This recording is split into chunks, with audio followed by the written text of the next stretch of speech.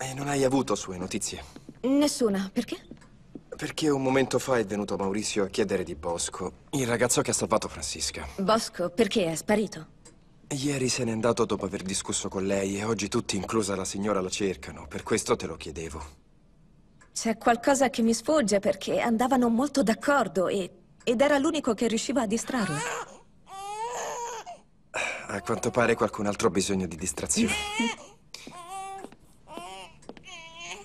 Che c'è? Che c'è? Vieni qui. Vieni. Che c'è, Speranza?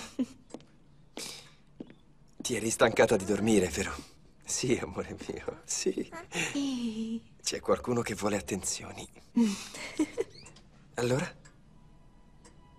Che c'è? Che dici? Eh, che dice Speranza? E Speranza chiede quando sarà il matrimonio.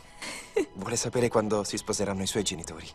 Quest'estate ti va bene, bambina mia? Beh, a suo padre non potrebbe andare meglio. Che c'è?